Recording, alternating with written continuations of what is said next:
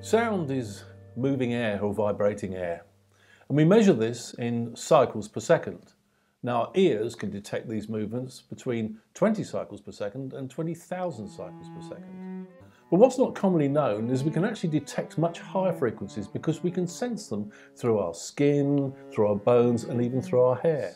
But today's recording equipment can actually record these incredibly high frequencies. But up until now, the weak link has been the microphone because the microphone has only been able to record up to 20 kilohertz. But now that Sony have introduced the high-res microphone, we can actually record sounds from the instrument up to 50 kilohertz.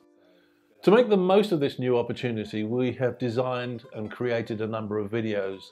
And the videos are designed to show you different techniques and methods of microphone placement on some acoustic instruments. And these techniques are methods that have been used over the last 50 years on some of the classic recordings of all time.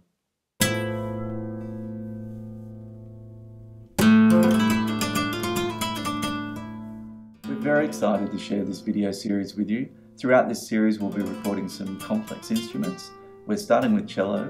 We are recording clarinet, saxophone, singer-songwriters, drums, acoustic, electric, nylon string guitars, concert pianos. So we really hope that you'll gain a lot of information out of this.